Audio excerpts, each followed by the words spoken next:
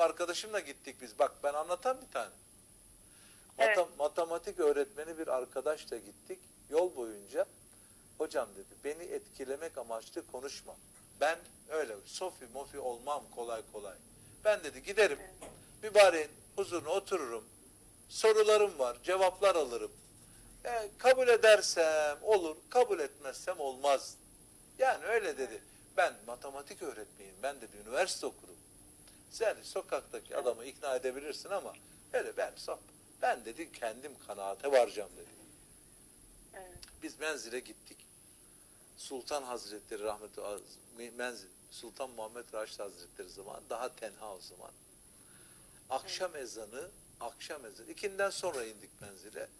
Ee, Gavs Hazretleri, Sultan Hazretleri, Hane-i Saadet'te. Neyse akşam ezanına Sultan Hazretleri geldi. Akşam namazını kıldık. Namazdan sonra tövbe verdi. Bu tövbe almadı. Sonra dert dinliyor Sultan Hazretleri.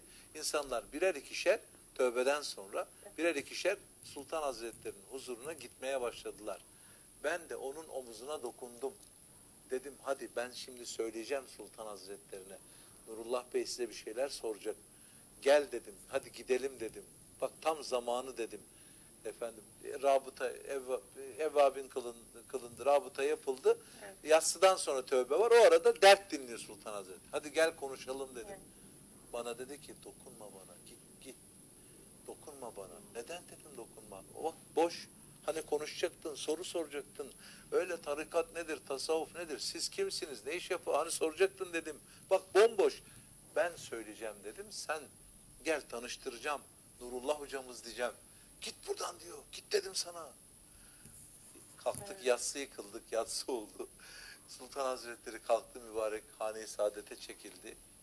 Dedim niye mızıkçılık yapıyorsun? Böyle mi konuşmuyorduk seninle? Dedi bak İbrahim hocam. Bana gö- döndü şöyle bir göz göze geldik. Benim dedi kablolarım yandı. Ben adımı yeni hatırlıyorum. Adımı adımı. Ayağa kalkacak mecalim, dizlerimin üzerinde duracak takatim kalmadı. Bitirdi beni dedi. Öldüm ben, yandım, yandım. Ne diyorsun sen dedi. Şimdi bu sohbeti yapacak, bunu oğlunla böyle anlayacak Sultan Gavs, Haz- Gavs Hazretleri'nin Allahu Teala Celle Celaluhu'nun yeryüzündeki rahmeti olduğunu anlatacak ona.